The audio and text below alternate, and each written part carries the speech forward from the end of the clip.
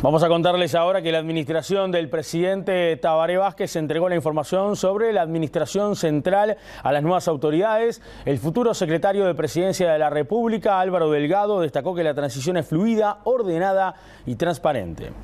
El Poder Ejecutivo saliente presentó un resumen de la información y carpetas de cada uno de los ministerios, OPP, al designado secretario de Presidencia Álvaro Delgado y al futuro subsecretario Rodrigo Ferrés. Un documento de unas 24 páginas que da un contexto general a este cambio de gobierno.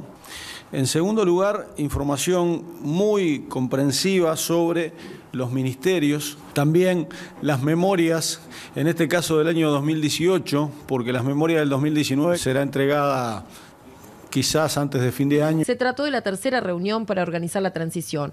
Ahora la información será repartida a cada uno de los ministros nombrados para comenzar las reuniones bilaterales y la transición en concreto. Hemos logrado generar un ámbito de fluidez, de intercambio, de coordinación de la transición muy ordenada, que me parece que está bueno decirlo en estos términos, con voluntad de, de ambas partes de que la transición sea lo más fluida, transparente y profusa posible. El tema de los juicios al Estado se abordó en la reunión. Por lo que significa este, la cantidad de información que tenemos que, que, manejar, que tenemos que conversar, todavía no nos hemos centrado en reuniones concretas en esa materia.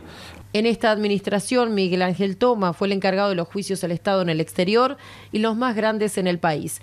Toma mencionó que Uruguay ganó los juicios a Philip Morris, Conecta, Italba, Montevideo Gas, Riselco y el juicio en Roma. En este momento estamos cursando el juicio de Aratirí, en el cual Uruguay presentó una sólida defensa y el pronóstico que hemos anunciado este, es que Uruguay va a salir gananciosa también en esa, en esa instancia. Otro de los temas analizados fue la ceremonia de transmisión de mando del primero de marzo. Se formarán equipos de trabajo con expertos en ceremonia y protocolo de Cancillería.